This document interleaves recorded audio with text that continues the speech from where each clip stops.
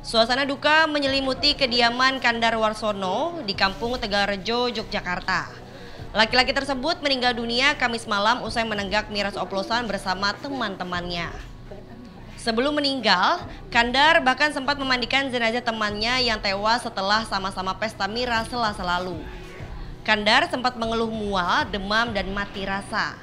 Sempat dibawa ke rumah sakit namun nyawa Kandar akhirnya tak tertolong.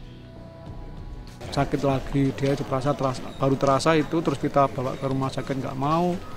Terus akhirnya kita ambil dokter, kita panggil dokter dari Ludiro terus bawa ke rumah.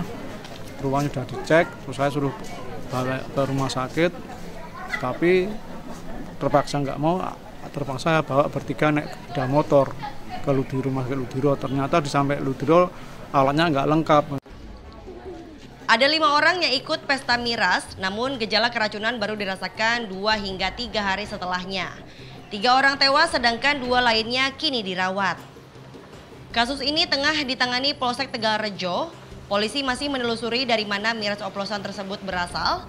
Tim penyidik masih menunggu hasil uji laboratorium untuk menyimpulkan kandungan miras maut tersebut.